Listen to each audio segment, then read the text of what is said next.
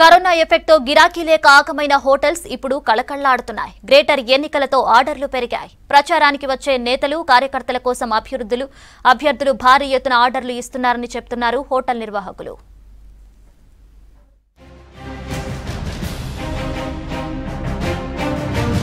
బల్దీ ఎన్నికల పుణ్యమాని సిటీలో హోటల్ బిజినెస్ మళ్ళీ ఊపందుకుంది. స్పెషల్గా బిర్యానీకి ఫుల్ గిరాకీ వచ్చింది.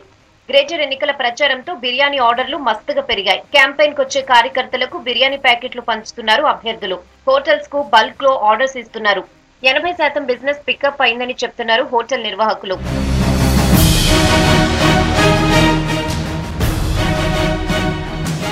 ఎన్నికల ప్రచారం మొదలవడంతో ఆర్డర్స్ పెరిగాయంటున్నారు హోటల్ యజమానులు. ముప్పై మంది ఇరవై మంది కోసమని ఆర్డర్స్ వస్తున్నాయని చెప్తున్నారు. సింగిల్ బిర్యానీ మీల్స్కు ఎక్కువ డిమాండ్ ఉందంటున్నారు. లాక్డౌన్తో పోలిస్తే బిజినెస్ పెరిగిందని అంటున్నారు. మరికొన్ని రోజులు ఎన్నికల హడావిడి ఉండడంతో బిర్యానీకి గిరాకీ ఇలాగే ఉంటుందని చెప్తున్నారు హోటల్ యజమానులు.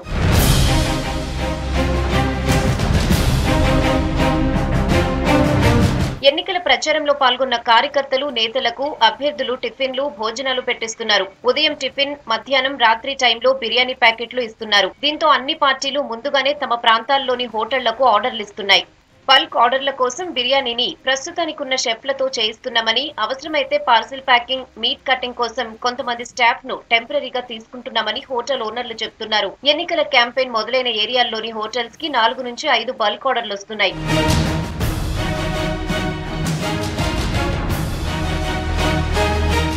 లాక్డౌన్తో పడిపోయిన బిజినెస్ మళ్ళీ పెరుగుతుండటంతో హోటల్ నిర్వాహకులు ఆనందంగా ఉన్నారు. ఇక ఎన్నికల ప్రచారంలో పెట్టే ప్రతి ఖర్చుకు ఈసీకి చూపించాల్సి ఉండడంతో అభ్యర్థులు తెలివిగా వ్యవహరిస్తున్నారు. టిఫిన్ మీల్స్ ఇతర ఖర్చులన్నింటినీ అభ్యర్థుల తరపున అనుచరులు పెడుతున్నట్లుగా చూపిస్తున్నారు. తమ అభ్యర్థి కోసం స్వచ్ఛందంగా తామే ఖర్చు పెట్టుకుంటున్నామని చెప్తే అవి ఈసీకి చూపించాల్సిన అవసరం లేదనేది నేతల ప్లాన్.